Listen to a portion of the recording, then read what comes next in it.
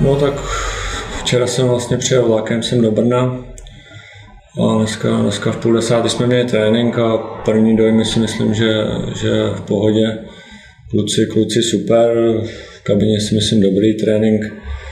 Trénink byl taky výživný, dobrý, takže zatím moje pocity eh, výborný.